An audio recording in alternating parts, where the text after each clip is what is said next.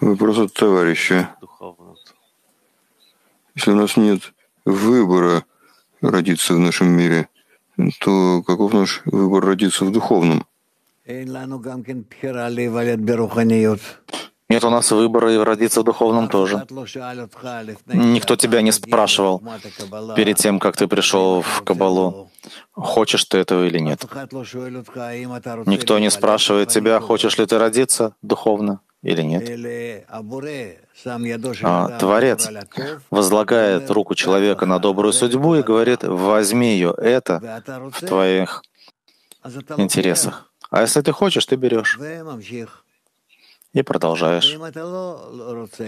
А если ты не хочешь, он все равно на тебя давит, пока не захочешь. И участие человека в том, что он старается понять, что он должен это принять и идти своими силами вместе с Творцом. Быть партнером Творца.